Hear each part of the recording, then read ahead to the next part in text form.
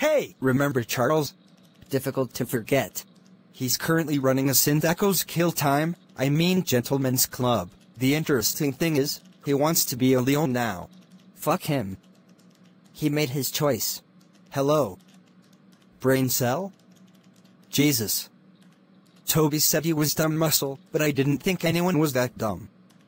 We can use Charles to get on Sindacco plans. There's just one thing, he's being set on by some Sindacco ape, I need you to kill them.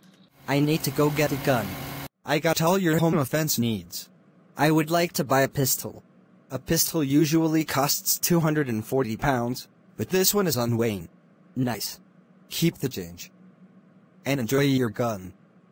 Here are the extra bullets in case. You're in a big battle and you need more bullets. Luckily the construction site is not far away. So I will be able to get there. What are you doing? Get out of there. No! I'm gonna rip your fucking head off.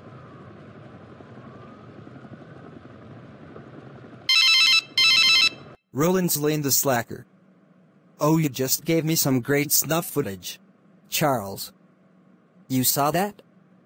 You're filming me? Ah. It was just for my own use. I can't wait till we're on the same team. Don't get too excited, pal. You still owe me money. Why not take that car? Just respray it so no one recognizes it. I'll take care of his body. I resprayed the car. And now I like my life. See you later.